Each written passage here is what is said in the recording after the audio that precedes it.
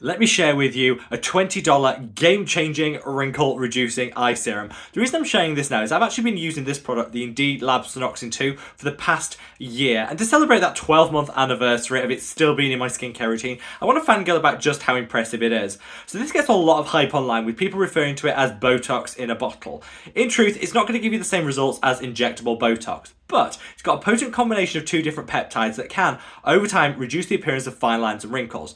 Best thing is, you get that instant gratification. You put this on the crow's feet, laughter lines, the 11s, go brush your teeth, come back, look in the mirror, and you'll see an instant smoothing and wrinkle reduction. It's really affordable, it hydrates the area at the same time, and you get some long-term skincare benefits. There are lots of potions and lotions on the market calling themselves Botox in a bottle, but of all the ones I've tried, I'd say the Indeed Lab Snoxin 2 gave me the best results. I've linked it in the comments so you can cut and paste and find it for yourself, but definitely 10 out of 10, holy grail.